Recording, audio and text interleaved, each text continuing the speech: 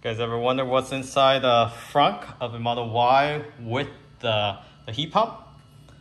So here's a HEPA filter inlet and there's a HEPA filter just held in together by two bolts actually. And then you have your main battery pack high voltage uh, loop.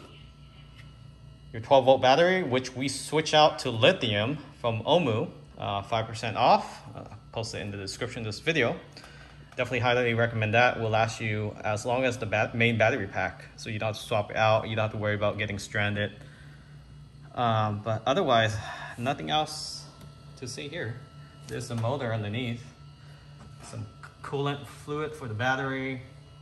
Steering wheel fluid, washer fluid.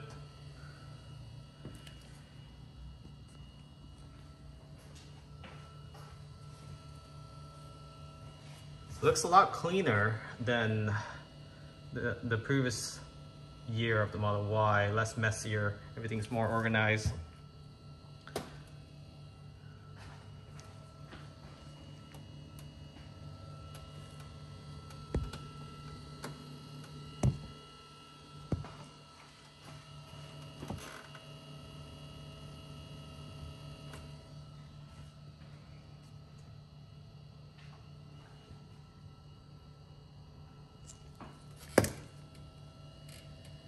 Still full.